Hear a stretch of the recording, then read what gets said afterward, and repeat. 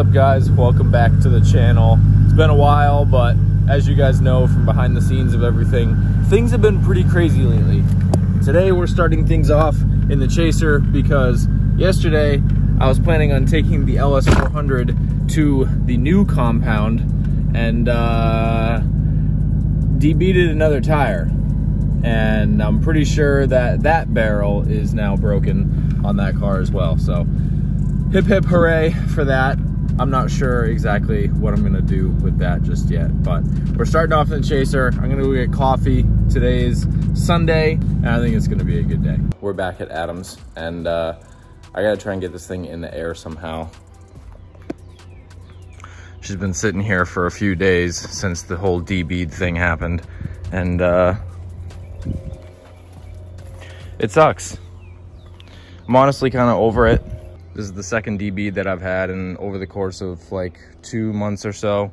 And uh, I think it just has something to do with the amount of camber that I'm running and all the all the contributing factors, maybe not enough tire pressure or something like that.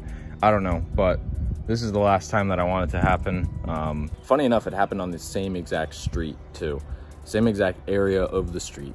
Maybe it's something to do with that there. I don't know. Maybe it's just coincidence, but either way, it's just annoying. Anyways, before it was a nightmare getting this thing up in the air uh, without a D-bead, but now, especially in the front, it's gonna be twice as much of a nightmare getting it up in the air with a D-bead. So I'm gonna see if I can work some magic and get this thing up in the air and figure out why it happened, how it happened, and go from there. So I was kind of able to put one GK Tech ramp under here, walk it back a little, put another one under there, walk it back a little, and then I jacked up the rear. Now I can put some wood under the backside here to kind of hold that in place while I uh, take the front off. So I think we'll be okay. Yeah. That should be plenty enough to get the jack under the front. So to my surprise, I don't think that I actually cracked a barrel this time. I looked around it, I didn't see any hairline cracks or anything that stood out. I just saw excessive tire wear. And uh, there's a couple spots where it's definitely more pronounced. So I guess I must have sprung a leak there and just rode the thing into the ground, which sucks. It really sucks. But I already have a new barrel ordered. Whether or not this one's cracked, it's just kind of destroyed. But there is possible hope that I might be able to get two new front tires and uh, just kind of beat them back on and be good to go. I would just get one new one, but I'd rather just get two new fronts and make sure that everything is good in the front and not have to worry about that anymore. Also an alignment would help. Um, so probably schedule to do that or uh, get a good toe plate alignment going. But either way, I mean, it's it might be kind of a victory. I don't know. All right. Anyway, let's get on with the day. All right, we just pulled up to the new shop, the compound. I hope you guys enjoyed the video that I made for Adam's channel and the whole introductory to the compound. Uh, I had an absolute blast filming that video and uh, Chris Krispy was a huge, huge help in the whole process. We were able to fly him down. He brought his red. He brought his Motocrane isolator arm, which made getting the lead and chase shots on the side-by-side -side an absolute breeze. Um, I didn't film any BTS stuff. My head was just running a million miles an hour the entire time. And uh, if I was trying to film a BTS video, I probably would have forgotten. So I hope you guys enjoyed that video that I made for Adam. And uh, it was a blast. But we're here. This place is crazy um, and I'm stoked. I'm unbelievably stoked about this. I also want to mention really quickly that the hoodies are gone once again. They are all shipped out. I don't believe that I'm going to be doing a restock of these hoodies anytime soon, not until at least next season uh, when it's getting colder out. It's already 90 something degrees down here in Florida and it's starting to warm up everywhere else. So I think two drops was plenty and I didn't want to wring that design out anyway and kind of make it stale. So to anyone that ordered, I hope you're pumped on it. I love getting tagged in all the posts on my Instagram of you guys wearing them all the way around the world.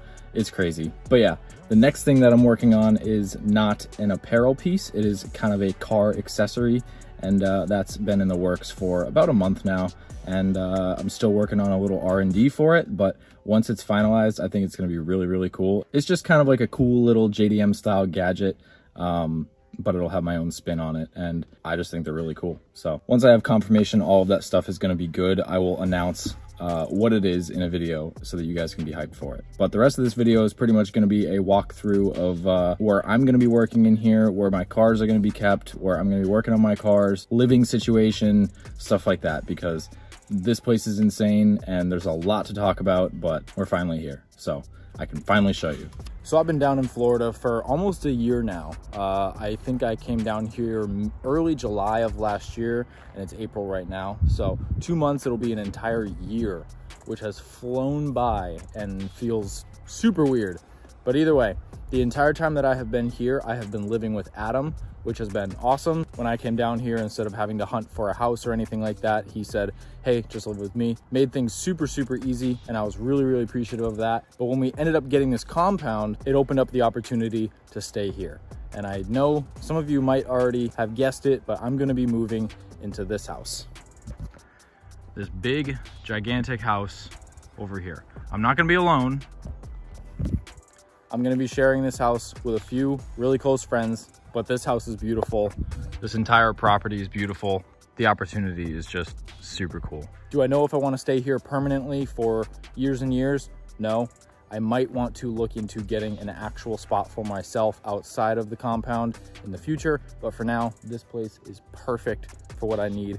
Can just wake up, be here already. I can be close to where my cars are gonna be worked on. It's gonna be sick. But now let me go inside. I'll give you guys a quick little tour and show you guys where I'm gonna be staying. All right, taking you through the garage. So we don't really have a plan as to who's going to be using this garage. Obviously, there's a load of car space on this property. So because there's a huge surplus of space on this property to work on our cars, and we're gonna have our own dedicated space to work on our cars, uh, this garage might just be used for storage at the time, for a uh, pool table. I know one of my friends has a pool table that he wants to bring in here. So yeah, not really sure what we're gonna use this garage space for, but it is really nice. It's air conditioned, it's got lights, it's got everything that we would need. So if there's a case where we do need to work on something in here, uh, I'm sure that we would have no trouble with that. Uh, laundry machines right here, that's awesome. All right, so now we're in the house. I'll give you a quick walk through. So down this is more bedrooms. For those of you that walked, watched the walkthrough video, you guys know that there's three bedrooms in this corner. Walk through here, you have this super nice wide open kitchen. Uh, all the drawers, super nice. Appliances, super nice. And you come through here, you have a very nice wide open living room, living space. Comes with a TV, couches, lazy boys, everything like that. Nice little bar section to be able to just have breakfast in the morning if you're hanging with your friends or something, or maybe having beers at night, whatever. Obviously, the more that we stay in this house, we will discover certain things that might need to be changed, whether it's uh, furniture or mattresses or appliances, things like that. But for now, everything works, which is sick, minus the AC. So the AC is getting looked at. Once the AC is working in tip-top shape, then we should be good to move in here, which I'm really, really pumped for. Now, for those of you that watched Adam's walkthrough video, you guys know that there's a big giant master, but if you didn't watch that video, there's a big giant master. I would try and turn the lights on in here, but I don't think that any of them work. I think the bulbs are burnt out, except for these bedside table ones.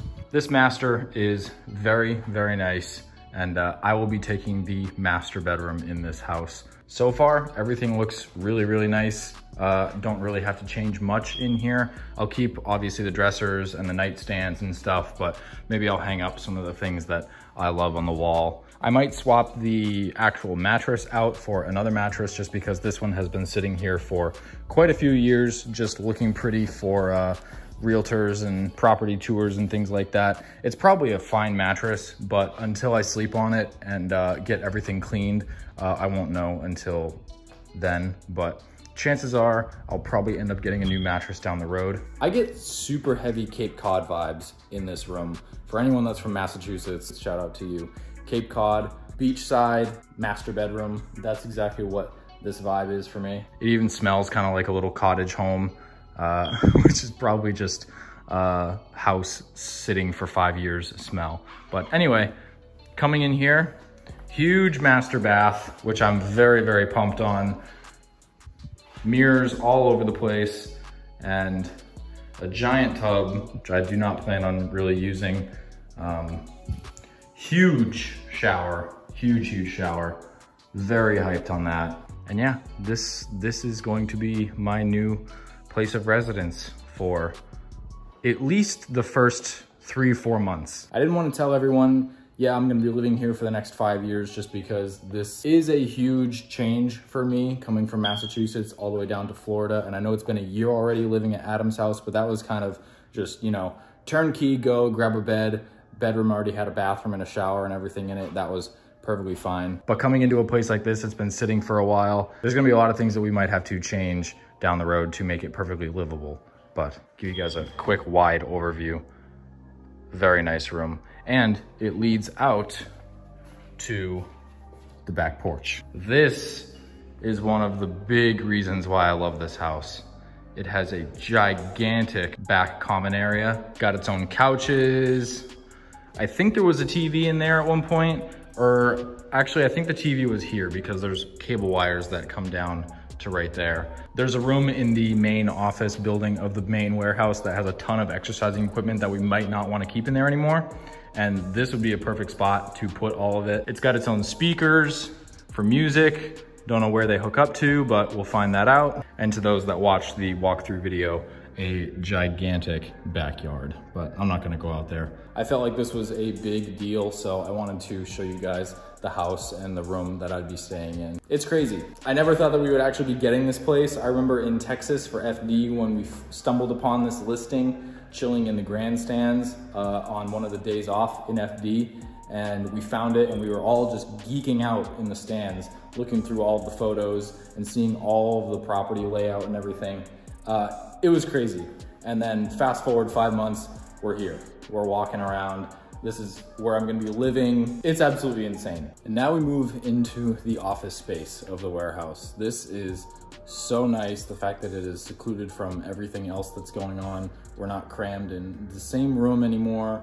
And it's, it's just so nice. So in here, we've just been kind of setting up slowly. So in terms of figuring out which office is mine, I have two potential options. This office has a very high potential of being mine, and I absolutely love it. It's giant. It already came with this super nice desk. The chairs are outdated and falling apart, so I'll obviously bring my chair over here. Plenty of space to put all my camera gear, all these drawers and shelves and everything. This is a perfect corner for my editing station, and it's just awesome. I've been doing a lot of uh, editing in here over the past few days for all the walkthrough videos, and uh, I really, really like it. So the, the only downside that I see about this room is the fact that it's the only room that has a door to the outside in it, which means that people might be using this door as a way to get into the office often, and that could kind of get annoying in the future. So we're gonna kind of think about things that we could do to either avoid that or slow that down. But either way, if I do end up picking this office, I'm most likely just going to have to deal with it having a door and uh, people will be coming in and out. And my other option is the room way down here. Now this room currently is the gym. And right now it is full of gym equipment. This stuff is really nice. This stuff is definitely early 2000s, but uh, everything in here works, functions, treadmill works, elliptical works. This huge Bowflex looking machine works and it's super nice. You've got your own free weights here, old school TV in the corner. Can watch my uh, Richard Simmons gym DVDs. But if this room's gonna turn into my office, all of this stuff is gonna have to move. And I enjoy working out in the morning when I can, so. All of this stuff may potentially be going in the house, which will take a while to move. This stuff is gigantic, we'll have to take it all apart and stuff, but if we could have this like on the back porch or something in that big open area, it would be super, super nice to be able to wake up a little earlier, get a quick workout in, and then just go right to work. But in terms of space, this room is a little bit bigger than the other room and does not have a door uh, to the outside. So if this stuff does move, this will most likely become an entire media room. We'll have kind of a white backdrop wall over here, a green screen wall over here. My editing station will be in the corner, all those things. Thankfully, all this stuff is movable, so. I haven't moved any of my setup stuff here yet just because we don't have internet yet and trying to edit and upload things here without internet and just using a hotspot is going to turn into a nightmare. So right now, that stuff is still at the old warehouse. If I need to edit and upload a video, I'll just go there in the morning, do that, and then I can come here. A little bit of a hike, but I honestly enjoy the drive. It's all back roads and it's always super nice. So now I'll show you guys where most likely going to be keeping my cars and where you can expect to see them being worked on in the future. All right, so final place where I'm going to be working on my car. Right now, it's kind of temporary and things are kind of up in the air because there's two really good potential places to be working on our cars at. Right now, this is gonna be the place. So this is most likely going to be the future dyno shop. Uh, we touched on it in the walkthrough video and you can see Schulman's got his car over there and he's been working on getting that uh, close to back to running uh, for the season. And the other shop is directly across from this one that has all of the four post lifts, which that one would be an ideal spot to work on all of our cars at. But for right now, I believe this is going to be where everything is going down. So obviously the LS400 isn't here right now. I can't bring it here right now because I have the debeaded wheel. I have tires ordered. They should be here in four days of this video going up. Hopefully I can get them just mounted on, get the car here, and I can start tearing into that thing and just take the front end apart so that I can actually get the Century stuff kind of mocked up. I need to touch on this in a future video, but there's a possibility that I may not be doing Century front end swap. Um, but it is for a very valid reason and uh, it's not because of laziness or anything like that. It's a big announcement and I get to tell you that in another video when I bring the LS400 here. But for now, I just wanted to address that. I know a lot of you guys are really pumped on seeing that go down, but there's a slight possibility that it may not be happening to this LS400. And you will find out why very soon. I know it kind of sucks, but once you hear me out, you'll understand why and you'll be even more pumped than you were first. But yeah, this shop space is super, super nice. The next thing on the list for the Soarer would be to actually make some really good power with that car. So I'd probably end up doing uh, injectors, fuel pump, ECU, things like that, get all of that squared away. And then we can actually make some jam with that car. So in terms of Soarer content, that's what's coming for that. And that will most likely go down in this building. I'm finally going to have a fast car. This stance boy, kid that has always cambered every car he's ever owned is finally going to have a fast car and I get to feel what it feels like.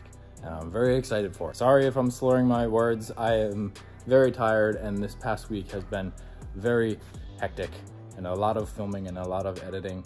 And now I get to film and edit this video and all that stuff. this bike sucks. Oh God. All the handles melted off because the thing hasn't been sitting out for that long. Is that why? Yeah. So we got some good old gloves here. We're just taking this. Dude, if we did 10 laps in the morning of this place before everything was like popping off, we'd get in shape real we quick. Shape real quick, dude. I think I'm putting in about like five, seven miles a day, just riding around, meeting with this person, that person, gotta go to this building, yeah. Building. So that happened. It's crazy. See if I can switch hands here. So I just want to give another announcement before I end this video off. I know there has been a little bit of a lack of uploading on this channel more often than usual. I know I usually am lacking on uploading here because of the crazy uh, other scheduling and stuff like that for Adam's channel. But um, I have been working towards getting a certain car for a very long time. And that car is coming up to being very close to being my next car and my next dream car, my next dream build. It's been a car that's been on my bucket list for uh, basically ever since I got my license and watched movies, watched Fast and Furious movies and everything like that. And uh, I've been saving up for a couple months and it's almost here. So if you guys are wondering why there's a lack of videos, it's because I'm trying to not spend a crap ton of money on car parts for the Soarer and the LS400 and things like that so that I can actually put money towards that car and buy it. So I'm hoping by the end of April, I will be able to have that car and announce what it is. But until then, I'm gonna keep saving money and eating ramen and drinking air and ice cubes for breakfast. And uh, we'll hopefully have that car soon. But uh, thank you guys for watching this video. Um, I'm pumped to be living here, working on my car here, coming here every day now. It's gonna be absolutely wild. This place is insane. And uh, I'll see you guys in the next one.